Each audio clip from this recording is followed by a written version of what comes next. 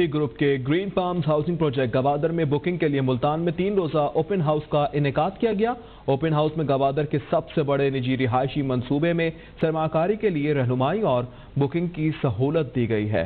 D Multan में 30 जुलाई से यकम अगस्त तक तीन रोजा ओपन हाउस का अहतमाम किया गया। ओपन हाउस में रफ़ी ग्रुप के माहरीन green palms housing project Gwadar में सरमाकारों की रहनुमाई और मुआवनत के लिए मौजूद थे, जबकि सार्फिन को मौके पर ही प्लॉट्स की बुकिंग की सहूलत दस्तियाब थी।